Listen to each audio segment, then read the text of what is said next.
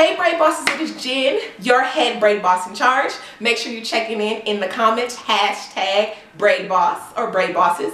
So you guys, I want to come in and talk to you guys about Groupon for braiders. Hear me out, okay? Hear me out. All right, so we have to talk about Groupon in a certain type of way. Now, the thing about Groupon is we both know Groupon has a built-in audience, right? People go to Groupon looking for deals. If you had intentions or plans to run deals or do a discount anyway, Groupon might be a place where you might think about offering your braid services. Now, Groupon has some very specific um, requirements. Let's first talk about the money. Groupon does a 50-50 split. You heard me right, okay? 50-50 split. So if you charge $100 for some braids on Groupon, Groupon is going to take $50 of that. So you're pretty much paying Groupon to advertise for your business. Okay, so that's number one.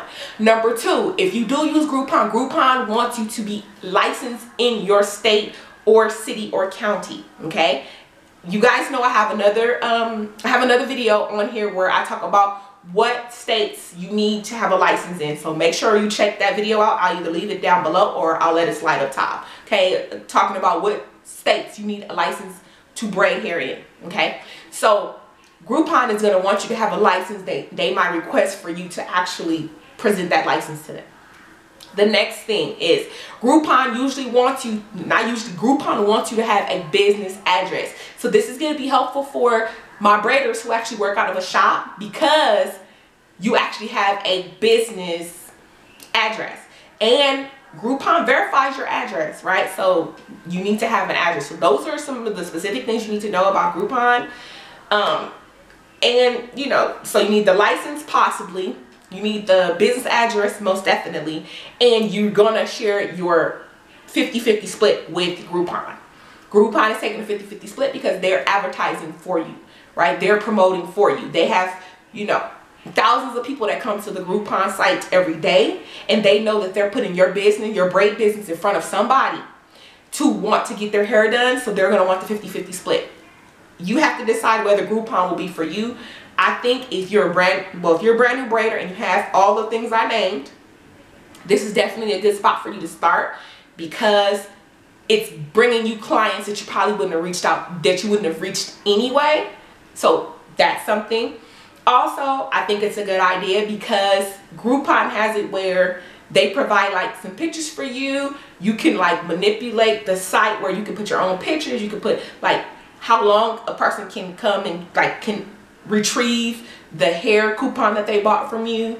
So you have to really think like, is Groupon for me? I think it's worth trying, but make sure you you meet all the requirements. And you guys let me know if you guys want me to actually do a walkthrough tutorial of um, setting up your business on Groupon. But you definitely want to look into it because again, they have their own advertisement. I know for some people like 50-50 split is not a good thing, but I think you should think about doing a hairstyle that you actually can do pretty quickly that you can charge more for. We know that, you know, box braids are popular or the coil braids is popular right now. So if you were to do those and that takes you two hours and say you charge them, you know, 200, um, Groupon would get 100 and you would get 100, right? So you can also do it that way too. Charge this, charge double of what you know you would already charge. So say if you did box braids, medium size, and you would charge 150, you might charge 300 Groupon takes their 150 You still make your 150 You was going to charge anyway, but you just boost the price. But you got to be realistic.